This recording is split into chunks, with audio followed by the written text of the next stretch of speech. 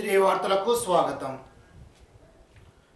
Corona second wave పట్ల వైద్య అధికారులు అప్రమత్తంగా ఉండాలని పెనుమంట మండల ప్రత్యేక అధికారి ఎం షణ్ముఖ నాగరాజ్ వర్మ వైద్య అధికారులను కోరారు. సోమవారం పెనుమంట మండల పరిషత్ కార్యాలయంలో మండల స్థాయి అధికారులతో సమీక్ష సమావేశం నిర్వహించారు. ఇటీవల లండన్ నుండి స్వదేశానికి వచ్చిన వారి జాబితాల వివరాలను సేకరించి ఉన్నత అధికారులకు నివేదించడంతో పాటు అధికారులకు వచ్చిన సమాచారాన్ని సమగ్ర విచారణ చేపట్టి వివరాలను ఉన్నతాధికారులకు నివేదించాలని కోరారు. అలాగే నాడు నేడు పాఠశాల అభివృద్ధి పనులు వేగవంతంగా పూర్తి చేయాలని ఎంఈఓ శారదా జ్యోత్స్న అన్నారు. గ్రామాల్లో గ్రామ సచివాలయాలు రైతు భరోసా కేంద్రాలు ప్రాథమిక ఆరోగ్య కేంద్రాలు నిర్మాణ స్థితిగతులపై ఆరా తీశారు.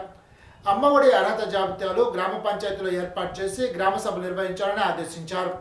అమ్మఒడి జాబితాలను సిద్ధం చేయాలని కోరారు. ఇళ్ళ లబ్ధిదారులు సొంతలు నిర్మించేందుకు స్థలంతో పాటు నిర్మాణాన్ని ప్రభుత్వమే చేపడుతుందని నిర్మించుకునే కమిటీ ఏర్పాటు చేసి సామూహికంగా ఇల్లు నిర్మించుకునేందుకు ఏర్పాట్లు చేయాలని గృహ నిర్మాణ శాఖ అధికారులను కోరారు.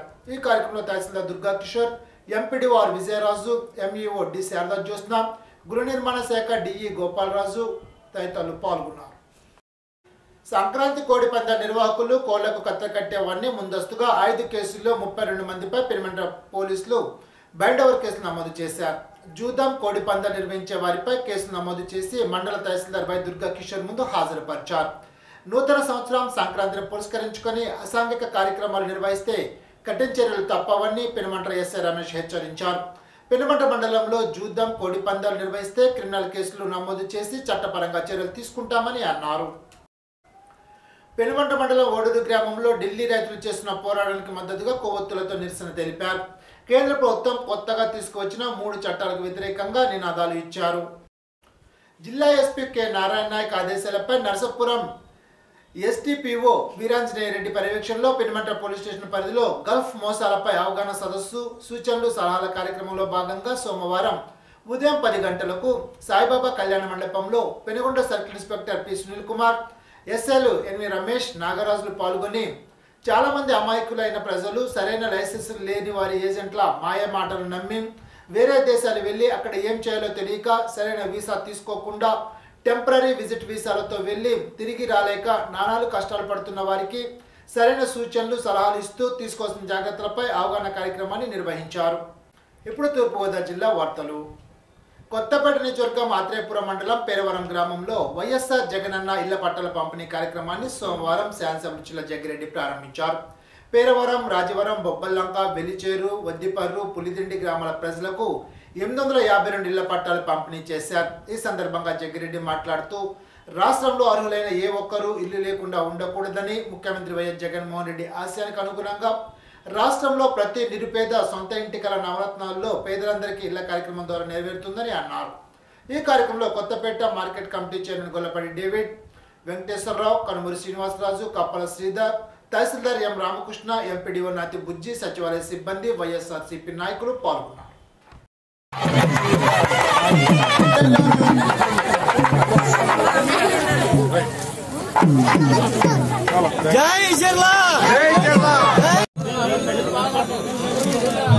ఇచ్చిన మాటలు నిలబడాలన్నటువంటి తాపత్రయంతో జగన్మోహన్ రెడ్డి గారు మరి రకంగా చేశారని కూడా ఈ సందర్భంగా మనం చూస్తున్నాం.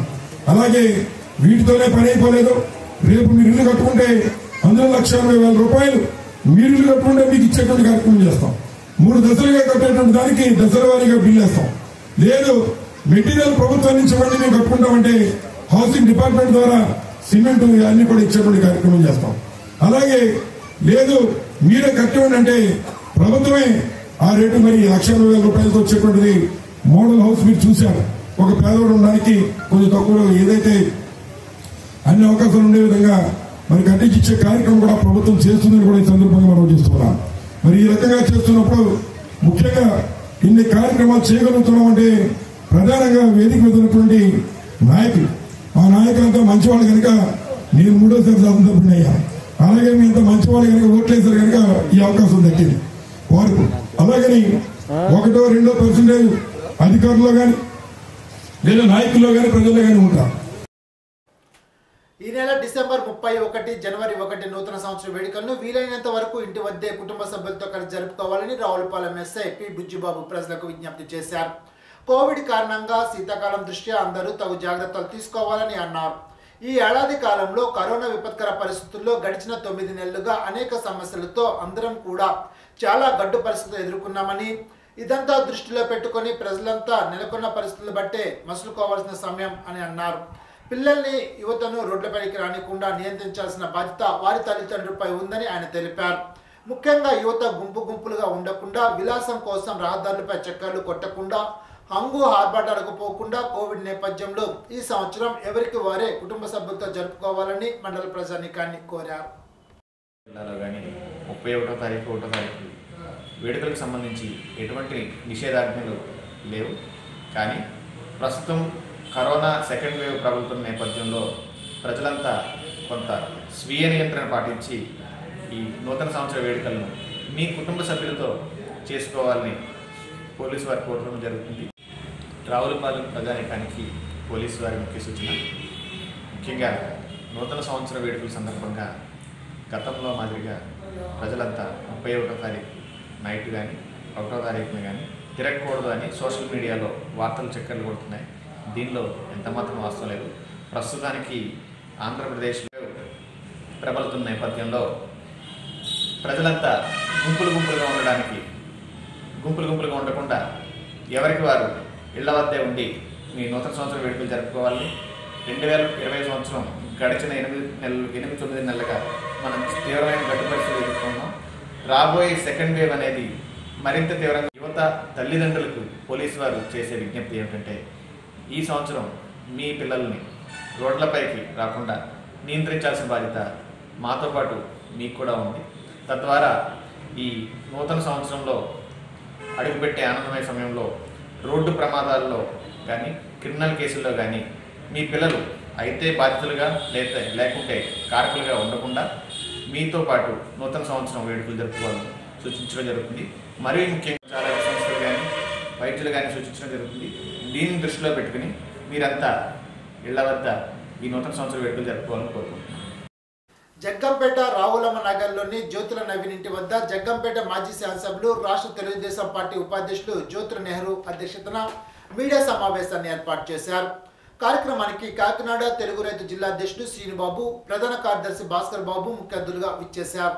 ఈ సందర్భంగా శ్రీనుబాబు మాట్లాడుతూ రాష్ట్ర పార్టీ ఆదేశానుసారం మూడు రోజుల పాటు నియోజకవర్గ పరిధిలోని నాలుగు మండలాల్లోని తెలుగుదేశం పార్టీ రైతు కమిటీ ఏర్పాటు చేయడం జరుగుతుందని అన్నారు. నియోజకవర్గ ఇన్ఛార్జ్ జ్యోతుల నెహ్రూ ఆధ్వర్యంలో రైతులకు ప్రభుత్వం చేస్తున్న రైతు వ్యతిరేక విధానాన్ని వివరిస్తూ వారికి న్యాయం జరిగే వరకు పోరాటాలు చేస్తామని అన్నారు. ఈ కార్యక్రమంలో మండల టీడీపీ అధ్యక్షుడు మారిశెట్టి భద్రం మంత్రి నీలాద్రిరాజు సురేష్ రామశెట్టి చంద్రరావు తదితరులు పాల్గొన్నారు.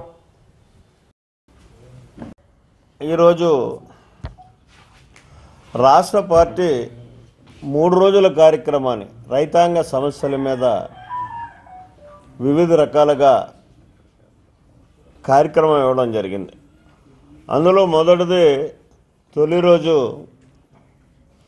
మీడియా సమావేశం పెట్టి పత్రికా సమావేశం. ఈనాడు దే రాష్ట్రంలో ఉన్నటువంటి రైతు యొక్క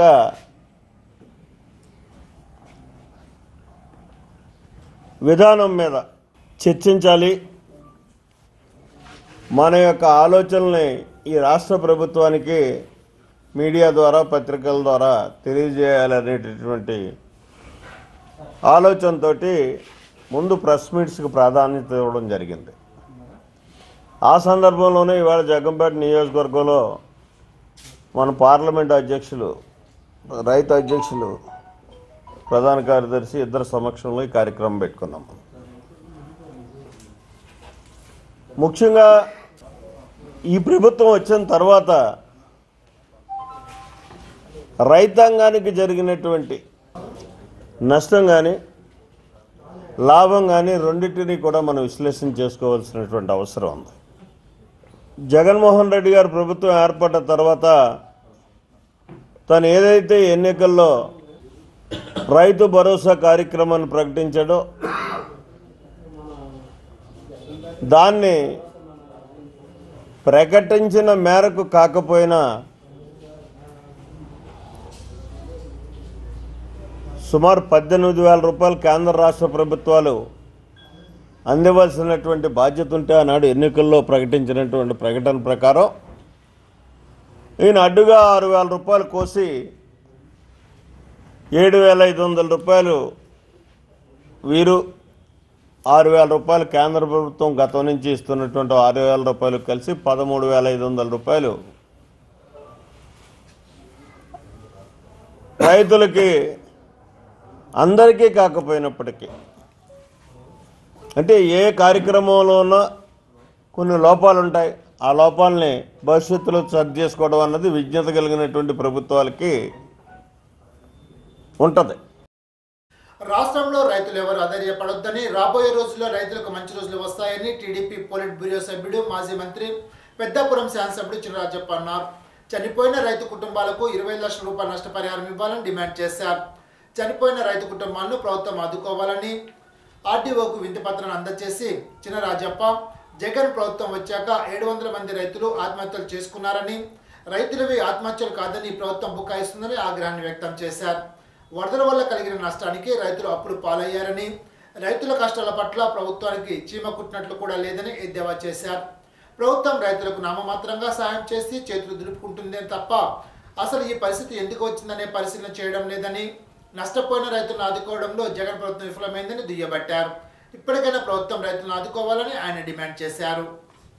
మీద ఒక కార్యక్రమం తీసుకోవాలని చెప్పి ఇవాళ రేపు రెండు మూడు రోజులు కార్యక్రమం తీసుకోవడం జరిగింది. అందులో కూడా రిప్రజెంటేషన్ ఇవ్వడం జరిగింది. ముఖ్యంగా మరి రైతులు అప్పులో పుట్టి అప్పులో పెరిగి అప్పులో సరిపోతున్నాడు ఆ రోజు చంద్రబాబు నాయుడు గారు రైతుల గురించి అనేక నిర్ణయాలు తీసుకుని రైతులకు ఇబ్బంది లేకుండా రైతులకు పనిముట్లు ఇవ్వాలి రైతులకు లోన్లు ఇవ్వాలి రైతులకు మంచి విత్తనాలు ఇవ్వాలి అలాగే రైతులకి రు- రుణమాఫీ చేయాలని చెప్పి అనేక కార్యక్రమాలు తీసుకుని మరి చంద్రబాబు నాయుడు ముందుకెళ్ళారు తర్వాత ఈ ప్రభుత్వం వచ్చిన తర్వాత పంతొమ్మిది నెలలు అయింది. పంతొమ్మిది నెలల్లోని కూడా ఏడు వందల మంది పైగా మరి ఆత్మహత్యలు చేసుకున్నారు. మరి ఆత్మహత్యలు జరుగుతున్నాయని చెప్తే ఆత్మహత్యలకు ఏదో వంక పెట్టి ఆత్మహత్యలు కాదని చెప్పే పరిస్థితి వచ్చింది.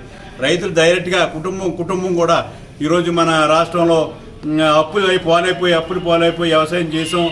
పంటలు పాడైపోయినాయి లేదా అప్పులు పాలైపోయాను నేను ఇంకా బతకలేను అన్నది కుటుంబాలు కూడా ఇక నాశనం అయ్యే పరిస్థితి చనిపోయే పరిస్థితి వచ్చి కనపడుతుంది. మరి ప్రభుత్వం మాత్రం చేకూట్టినట్లేదు ఏదో నేను చ- చనిపోయిన వాళ్ళకి ఓ ఐదు లక్షలు ఇస్తానో లేకపోతే మూడు లక్షలు ఇస్తానో చెప్పి తప్పుకోవడానికి తప్పించి అసలు ఎందుకు వస్తుంది ఈ ప్రాబ్లం అన్నది లేదు. ఒక దాబా కాదు మూడు సార్లు వర్షాలు కూర్చున్నాయి పూర్తిగా సర్వనాశనం అయిపోయినాయి పంటలన్నీ కూడా. వాటి రంగు మారిపోయినాయి. రంగు మారిపోయిన ధాన్యం కూడా కొనలేని పరిస్థితిలో ఇలా ప్రభుత్వం ఉంది. ప్రతి ఒక్కరైతే కూడా ధైర్యంగా ఉండండి. అప్పుడు తీర్చడానికి వస్తున్నాయి. భవిష్యత్తులో బాగుంటుంది కనుక మీరు అందరూ కూడా ధైర్యం ఆధైర్యపడొద్దని చెప్పి రైతులు కూడా కోరుతున్నాడు అలాగే ప్రభుత్వం కూడా కుటుంబాలకి ఎవరైతే చనిపోయిన కుటుంబంలో వాళ్ళందరికీ కూడా ఒక పది లక్షలైనా కనీసం ఇవ్వాలని చెప్పి డిమాండ్ ముమ్మిడివరం నగర పంచాయతీ పరిధిలో సమైక్యాంధ్ర శిబిరంలో ఢిల్లీలో రైతులు చేస్తున్న ఆందోళనకు మద్దతుగా కోనసీమ రైతు సంఘ నాయకులు ఇందుకూరి సీతారామరాజు దీక్షలు ప్రారంభించారు. ఈ కార్యక్రమంలో దీక్షలో కూర్చున్న సిఐటియు జిల్లా కార్యదర్శి దుర్గా ప్రసాద్ సిపిఎం పార్టీ నాయకులు సకల సునారాయణ బాలయ్య కాంగ్రెస్ పార్టీ సీనియర్ నాయకులు పెరుమచ్చి జగ్గప్పరాజు కౌలు రైతులు ప్రసాదరావు అజయ్ కుమార్ దళిత సంఘాల కార్మిక సంఘాల నాయకులు తదితరులు పాల్గొన్నారు. ముఖ్యమంత్రి వైఎస్ జగన్మోహన్ రెడ్డి నవరత్నాల్లో ఒకటైన పేదలందరికీ ఇల్లు పంపిణీ కార్యక్రమంలో Peddapuram YSRCP incharge Dowluri Dorababu RDO Mallibabu MRO B Sridevi పాల్గొన్నారు. ఈ కార్యక్రమంలో ముఖ్య అతిథులుగా కలెక్టర్ మురళీధర్ రెడ్డి చేతుల మీదుగా రెండు వేల అరవై ఇళ్ళ పట్టాలను పంపిణీ చేశారు. దాదాపుగా ఈ ఇంటి పట్ట ఇచ్చేటువంటి కార్యక్రమం నిరంతర ప్రక్రియ. మేము సర్వీస్లో జాయిన్ అయిన దగ్గర నుంచి అప్పటికి ఇప్పటికి ఎందుకంటే నాకు ఫస్ట్ పట్టా డిస్ట్రిబ్యూషన్గా చాలా సంవత్సరాల కిందట కూడా చే- ఇచ్చినటువంటి సందర్భాలు ఉన్నాయి. మొట్టమొదటిది ఏంటంటే గతంలో ఇచ్చేటువంటి ఇంటి పట్టాలు చూసినట్టయితే మీరు ఒక సింగిల్ పేపర్ ఇలాంటి దానిపైన అసలు అది తహసీల్దార్ సంతకమా మీ పేరా కాదా అనే సందేహం వచ్చేటువంటి పరిస్థితులు. లేఅవుట్ ఎక్కడ ఉంటుంది? ఆ నెంబర్ ఎంత? బెనిఫిషరీ నేమ్ ఎంత? ఆయన అడ్రస్ ఉందా లేదా? బెనిఫిషరీ పేరు ఉన్నారా లేదా? ఇలాంటి ఏమీ లేనటువంటి ఒక పేపర్. అది మనం బయట ఎక్కడైనా కూడా ఈజీగా చేసుకునేటువంటి పరిస్థితి ఉండే ఇది. తర్వాత బెనిఫిషరీస్కు మనం ఇచ్చి వాళ్ళకు ఇదిగోండి పట్టాలు ఇచ్చామని చెప్పేసి చెప్పుకోవడమే తప్పించి ఆ భూమి ఎక్కడ ఉంది? అసలు దానికి రోడ్డు ఉందా? అక్కడ ప్లాట్లు ఉన్నాయా? అసలు అక్కడ ఏమైనా స్టోన్స్ ఉన్నాయా? ఇలాంటిదే ఉండేది కాదు. మరి ఈరోజు చూసినట్టయితే మీరు మీకు అక్కా చెల్లెళ్ళకి ఇచ్చేటువంటి పట్టా ఇటువంటిది. ఇది మీరు పర్మనెంట్గా ఇచ్చేటువంటిది దీని లోపల కూడా మీకు డీటెయిల్స్ వివరాలు ఏవైతే ఉన్నాయో మొత్తంగా దానికి సంబంధించినటువంటి ఇన్స్ట్రక్షన్స్ కూడా. దాంతో పాటుగా లేఅవుట్ ఇక్కడ ఒకటే ఈ ప్రభుత్వం యొక్క ఉద్దేశం. ఈ సందర్భంగా వైఎస్ఆర్సీపీ ఇన్ఛార్జి దౌలూరు దొరబాబు మాట్లాడుతూ నవరత్నాల్లో భాగంగా పేదలకు ఇళ్ళ నిర్మాణం చేసి ఇస్తుందని ఇది చేతల ప్రభుత్వం కాదని మాటల ప్రభుత్వం కాదని ఇచ్చిన మాట హామీ నెరవేర్చే ముఖ్యమంత్రి వైఎస్ జగన్మోహన్ రెడ్డి అని అన్నారు. ఈ కార్యక్రమంలో రెవెన్యూ అధికారులు గ్రామ వాలంటీర్లు మున్సిపల్ సిబ్బంది వైఎస్ఆర్సీపీ నాయకులు కార్యకర్తలు పాల్గొన్నారు. ఇంతమంది మా పెద్దాపురం నియోజకవర్గంలో సుమారు పదిహేను వేల మంది పైగా ఇళ్ళ పట్టాలు పంపిణీ చేయడం జరుగుతుంది. అందులో ఈరోజు పెద్దాపురంలో రెండు వేల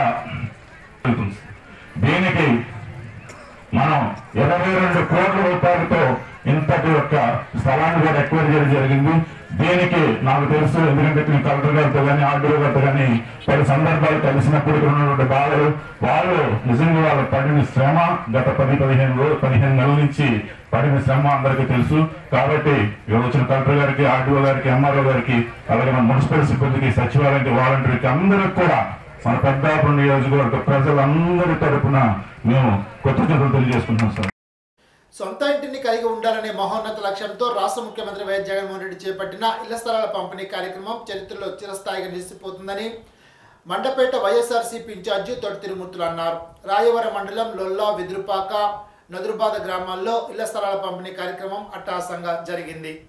ఎటు చూసినా కనుచూపు మేర నేలలో కనిపించిన ఇళ్ళ స్థలాలు అందరినీ అబ్బురపరిచాయి. వేలాదిగా తరలివచ్చిన లబ్ధిదారులతో ఆ ప్రాంతం వేడుగ్గా మారింది. తిరణాలను తలపిస్తూ సభా ప్రాంగణం సందడిగా కనిపించింది. మండపేట నియోజకవర్గ వైఎస్ఆర్సీపీ ఇన్ఛార్జి తోట తిరుమూర్తుల ఆధ్వర్యంలో జరిగిన ఈ కార్యక్రమంలో మండపేట శాసనసభ్యులు వేగుల జోగేశ్వరరావు వైసీపీ నాయకులు ప్రముఖులు హాజరై లబ్ధిదారులకు ఇళ్ళ పట్టాలు పంపిణీ చేశారు. అంతర్వేది శ్రీ లక్ష్మీనరసింహ స్వామివారి నూతనంగా తయారు చేసిన రథాన్ని సోమవారం ట్రయల్లో నిర్వహించారు. రథాన్ని స్థానికులు అధికారులు కలిసి కొంత దూరం లాగి చూశారు.